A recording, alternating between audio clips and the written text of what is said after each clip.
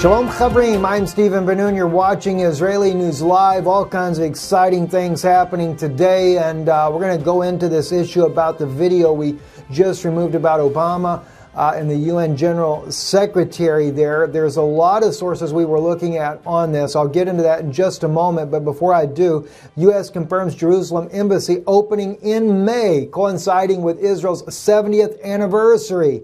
Uh, there was already uh, information swirling on Twitter from the uh, transport minister Israel Katz, who seemed to confirm the move would occur in the spring. That's like, that's where we get a lot of our own information. We're searching Twitter, picking up on things before they actually break in the news to see how things are going to happen. But finally, the Trump administration will officially relocate the U.S. Embassy in Israel from Tel Aviv to Jerusalem in May.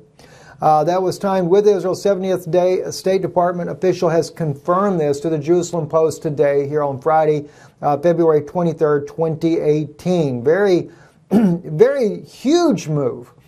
And you know what's funny? The Arabic world will be all up in arms over it, but it doesn't make sense. This is exactly what the Vatican negotiated with uh, Israel back during the Oslo Accords and their secret meetings that Joel Bainerman brought out. And it's obvious that much of the world knows about it, such as Erdogan of Turkey when he says East Jerusalem is the capital of uh, the Palestinians. China saying East Jerusalem is the capital of the Palestinians. Uh, Trump saying Jerusalem doesn't specify West, East, or anything, but if you notice his verbiage, Trump also parroting what the Vatican says there because the status quo for the Temple Mount will remain that way, and of course it'll be done through a negotiation. Yeah, once again, a split of the city, in other words. And then we have Simon Tov that has been on Israeli News Live showing us that already a two-state deal had been done. Barry Chamish, Joel Bainerman, all of them showing a two-state deal had already been worked out back in 1993 with the Vatican. The two state deal really is for the Vatican, not for uh, the Palestinians. Although they do get East Jerusalem as their capital, they do get a state. The, uh, the old city will become an international zone. The UN will be ahead of it there. And uh, so that's one reason why I think there's a lot of uh, speculation swirling about Obama be becoming the Secretary General. I'm uh, going to get into that in just a moment, though. Want to go back to this here, though. Also, though, that was what's really concerning to me as well, though, is that I mean, not concerning, but even Russia saying that they would acknowledge West Jerusalem as Israel's capital.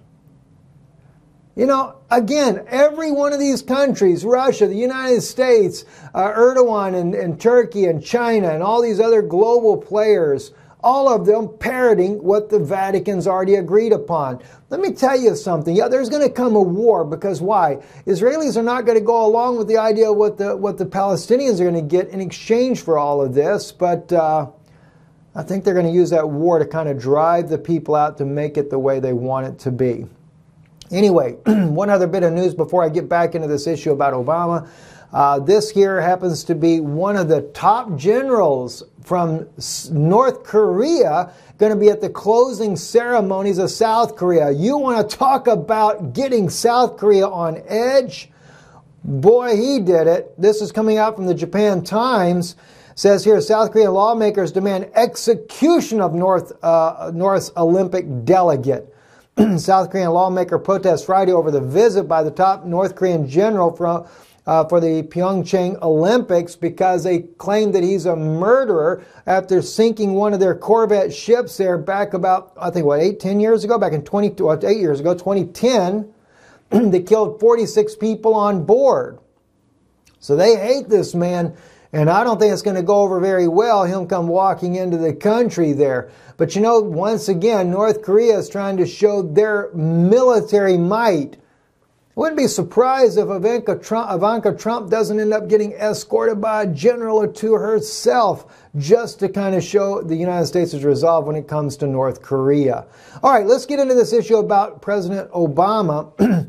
there was all types of information we were seeing coming out this morning already, uh, such as Julia Anna here on Twitter, and she was posting here in the Korean language uh, about, excuse me, Vietnamese language, I have added videos to a playlist on YouTube. Obama announces bid to become UN General uh, uh, is something new coming out. Now, that is just one of multiples that were coming out. There were videos everywhere that were that were already being published about this. Uh, well, they got eight new, but I, I, was looking at a lot of the uh, ones from earlier this morning, and I began to try to to to uh, really look into all this information to see what was going on. of course, you're a newswire, and YourNewsWire has done a lot of fake news. Of course, uh, not thinking definitely about that because I was looking at other sources before I even seen YourNewsWire. Uh, but what I'm finding out, it seems to me that even YourNewsWire, if you look at their sourcing in there, they use Jarad, uh, Al Jarad, which happens to be an Arabic uh, language news source. I use this uh, this Kuwaiti source as well on many things because the uh, Al uh, Jarada comes out with some really breaking stories many times long before mainstream media does. So they are a very good source. Uh, and what I do is I translate the articles that they're bringing out because if you want to know, get, a, get in ahead of stories, you can.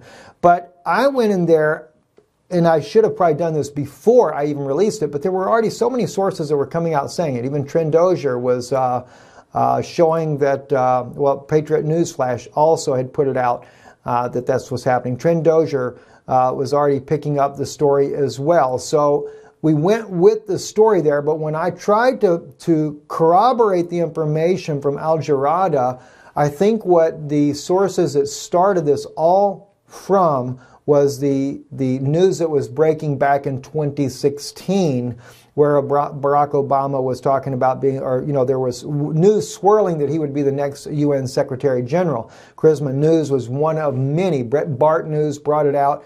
Many of the news organizations brought this out. So, unless there's something going on that we're not aware of, I don't like to have break a news unless I have personal sources that I know. Like in the Middle East, we have several uh, uh, sources there on the ground inside of Syria. We have them in Israel. Um, we have people in political circles as well in Europe uh, that we can get with, many journalists around the world that we're in contact with there. And so, because I could not find the corroboration of the claim that this was coming as original source from Al Jarida uh, news there, not to say that it might not be there, but I could not find it. So I elected to remove the video. Uh, if we get it, if it does come out in mainstream media as well, we'll go back into this uh, story once again. Uh, I can certainly see where uh, Obama could end up running in that position eventually. Uh, I still kind of consider that if they try to oust uh, President Trump from office, that he will probably end up back in the White House. Uh, if that were to happen, there again, that's all speculation there. But, uh, you know, so it's a little bit, you know, I, I, hate that we put it out there first. I wish I would have found, uh, went back and really looked into this, but I was looking, as I said, several different sources that were coming out already about him. Uh, running for this, and so we actually went with this story a little bit prematurely before really digging into this and seeing what was really going on. Uh, so, anyway, uh, I'm Stephen Ben-Nun. You're watching Israeli News Live. If you do have any information, though, outside of this, is there, is there something out there that we're missing, definitely get with us. Let us know what's going on there because we're still seeing a lot of talk swirling about this. And um, I'd like to really know what, how did this all get started uh, because there, there, there could be truth to it. But we just don't we don't want to we don't want to really build this up at this point yet. Let's kind of lay low on this until we can see if there is uh, you know a true issue behind it because I believe it's uh, that would be kind of an odd situation to change the UN General Secretary at such a short notice. Uh, Stephen Ben-Nun with Israeli News Live. Shalom and blessings to you today.